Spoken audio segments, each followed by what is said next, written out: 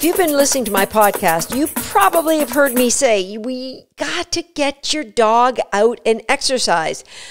But from what I'm hearing, sometimes that turns into a real battle because your dog is pulling on leash and it's difficult to walk them anywhere. Well, after today, all that could change because I'm going to share with you what you may have been doing that has led your dog to want to pull on leash what you can do to fix it, and how you can have an enjoyable walk with your dog. Hey there, I'm Susan Garrett. Welcome to Shaped by Dog. And before we get going, if you're watching this on YouTube, go ahead and smash that like button right now. You only need to hit it once. I mean, I say smash, but don't be too enthusiastic about it. If you're listening to the podcast in your car, well, you know what? Hands at 10 and 2, just listen. Back in the 1990s, I made several trips to Hot Springs, Arkansas to work with my mentors, doctors Bob and Marian Bailey. Now, Bob and Marian were not dog trainers, but they were world renowned animal trainers. The majority of their income came from training animals for things like, you know, television, movies, um, being consultants on all of the marine mammal training programs also training commercial animals to do things in fall fairs like play chickens to play tic-tac-toe and uh, pigs to run races, things like that. However, a good portion of their income came from the armed forces where they trained animals for espionage. True story, some fascinating stories.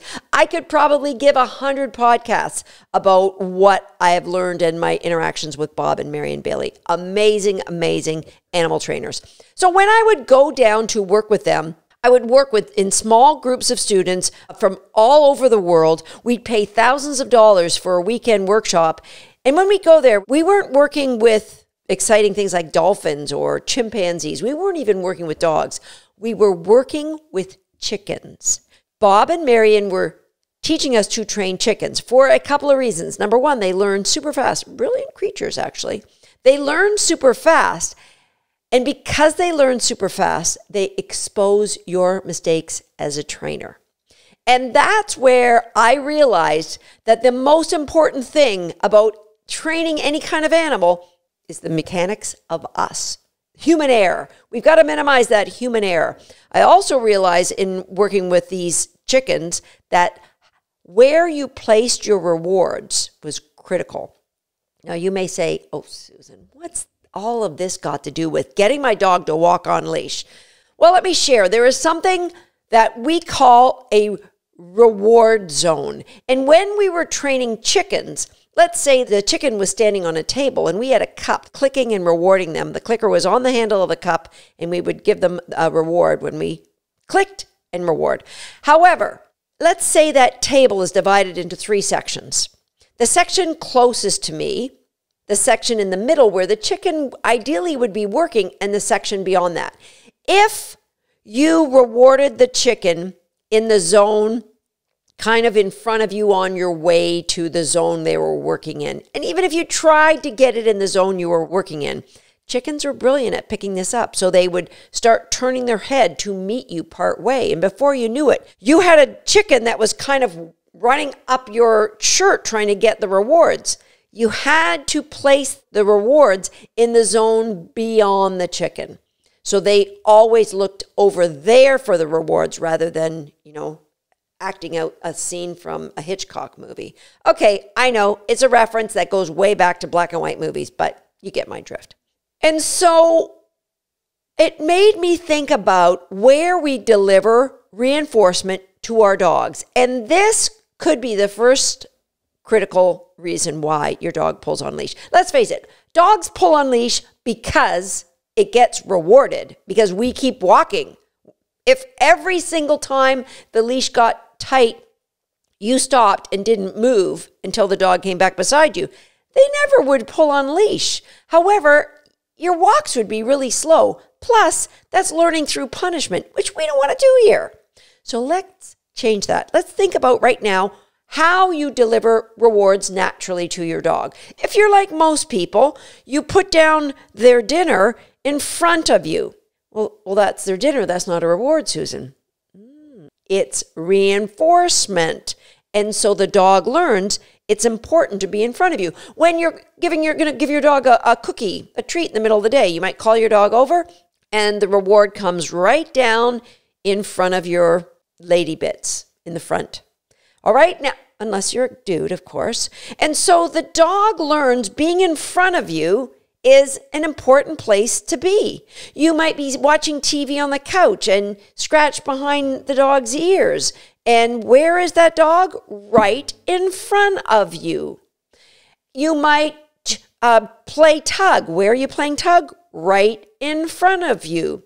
You might give a dog their a ball and it happens right in front of you. So the dog has learned to gravitate to being able to see you eye to eye. Important things happen when we can see eye to eye. That's when all the good things in life happens. So isn't it any wonder that when your dog is walking, they naturally just want to be out in front, maybe looking back at you maybe on a good smell. Now, the truth is, there's a lot of good reasons why dogs pull because there's good things out in front. Maybe we're walking slower than them. Maybe we're engaging their opposition reflex because when we pull against them, they're going to lean into that, right? So there's a lot of reasons why it happens. But let's change all that. Let's start being intentional about your reward zone. Now, in my online class, Recallers, we teach a game where we intentionally create a reward zone on your seam of your pants. So your dog gets all of their reinforcement on the seam, right? Be seen on the seam. That's where the good things happen. But as I said, the mechanics of a dog owner, a dog trainer, is so important. And so I'm going to teach you how to get your mechanics really good so that your dog wants to be seen on your seam. Here's how it begins. First of all, most people like to walk their dog only on the left side. You need to get comfortable with your dog working on your left or on your right. Next, you have to be patient with this. It's taken a long time for your dog to learn how to walk out in front. It's going to take a little while to change all that. And so while we're working on this process, I'd like you to think about how you could change the rehearsals that you've got. How can we get the dog not pulling? Now, the easy way is not to walk them, but we don't want to do that. You could change the um, history, meaning if you've been walking your dog on a flat collar, you could put them on a harness or on a head halter. Now, the harness is not going to do anything to stop them from pulling. Uh, maybe a no pull harness might slow them down a little bit. Head halter definitely will, but remember, refer back to my episode on how to condition a head halter because we don't just want to slap it on the dog's head, right? So we have to change those rehearsals. That's number one. Number two, we're going to start training a better behavior right now. It starts in a stop because we need to help the dog understand that it's important to be on your seam. And so get your dog in a sit, put them on a leash, and get them on a sit and in a sit, move in beside them. Now, if your dog is like most dogs, when you try to stand shoulder to shoulder with them, they're going to get up and look at you because they're going to be like, uh, illegal procedure. You are not to be right beside me. I'm supposed to be looking back at you. And so they aren't going to want to hold that position when you try to stand beside them. You may need to do this with a wall there. So put the ask the dog to sit beside the wall and you come up beside them because what they want to do is flip their butt so that their butt is out in front. The goal is for your hips and your dog's hips to be parallel. They're in a sit and you're standing and you're parallel. So that's the first thing we've got to condition the dog to do. Now, your mechanics. You're going to hold your leash, the loop of your leash in your right hand, and you're going to hold cookies in your right hand. And so here's what's going to happen dog's going to sit beside you. Go to the right hand, take one cookie. Remember, one. It's one less than two, it's only one. And then you're going to bring it across, touch the seam of your pants and then go and put it in your dog's mouth. Now, if your dog jumps up to get the cookie or moves in front, that's telling me that there it's your choice. It's your choice is not that good. I'll leave a link in the show notes to teach you how to play is your choice. But the cookies should be delivered to the dog. They don't get meet, meeting you part way. Remember the chickens. When they want to meet you to get the reward, that's when bad things can happen. Okay? All we're going to do is practice this in a sit. Dog on the left, cookies on the right. Take one cookie, touch your seam, feed the dog. All right? It's just as easy as that and then release the dog, play a little game, try it on the right side. Remember, we've got to be able to walk our dogs on the right and the left. Maybe there's another dog walking towards us. We need to be able to get them on the other side. So, dog on right, dog on left. Eventually, we want to move away from the ball, and all you're going to do all day long, you're going to give your dog a cookie, call them in to the side, ask them to sit. You can pat your leg, give them the treat on the side, and then release them. Once they get used to this, we need to move. And so, what you're going to do is you're going to ask your dog to sit. You're going to take one step forward and release them and see if they will come into the reinforcement zone. Get the cookie ready and put it in their mouth as soon as they come close. We want them to think about stopping when they get there. And now, if they come out in front, no big deal. It just means they need a little bit more time. Then you're going to go back and you're going to start with them and you're going to give them a release and take one step and stop and feed them. Remember, touching your seam. Eventually, you can take one step in, in, around the room. Now we're going to move on to the third part of this game where we need to turn into your dog. So you're going to leave your dog in a sit. You're going to take a step out in front and towards the dog. And so the dog is going to come into reinforcement zone, but on a turn. Eventually, you're going to make a circle all the way back on that path. We want to turn into the dog because if the dog and you are turning, they can't be pulling forward. And so you're going to be walking around your living room with your dog on a leash, moving in a circle. As now, if the dog is pulling out in front, you've got to do it one step at a time. One step, sit, cookie. One step, sit, cookie. One step, sit, cookie. Remember? You got to be seen on the seam. So the cookie has got to come from your right hand and you've got to touch. We want to touch the seam just to bring focus from your dog to, oh, that seam is my Pez dispenser. It's not coming from your right hand, it's coming from the Pez dispenser. So always touch the seam. Now you can walk in circles around your living room. You need to join those circles. So you're going to walk in a circle Take one step in a straight line, another step in a straight line, and then start another circle.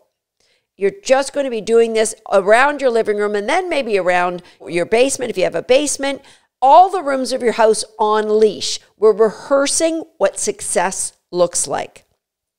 And now you're going to take that game and you're going to go in your backyard. There's going to be more distractions there. This is going to be harder. It's going to be difficult to keep your dog on that circle. Go back into your house and you're going to introduce your first distraction. Maybe get someone to bounce a ball or squeak a squeaky. So your dog is going to want to pull. We want them to know that's not how we walk anymore. So you're going to stop and wait until they come back into reinforcement zone. Praise them. Don't give them a cookie because we don't want to chain. You have to be good to be bad. Check out that episode here on Shaped by Dog. And then go back in, into a circle. So when they see a distraction, you do a circle.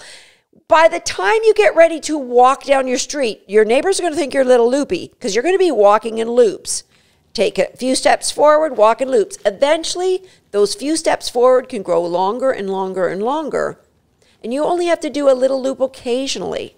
And that's when you have a dog who happily walks on a loose leash. Remember, patience is important, but your human mechanics is huge. Give it a go and come back to YouTube. If you're listening to this in your car, be sure to come into YouTube where you're going to see what that looks like. Leave me a comment. Let me know if you've tried it and let me know how it's working for you. Remember, be patient. I'll see you next time on Shaped by Dog.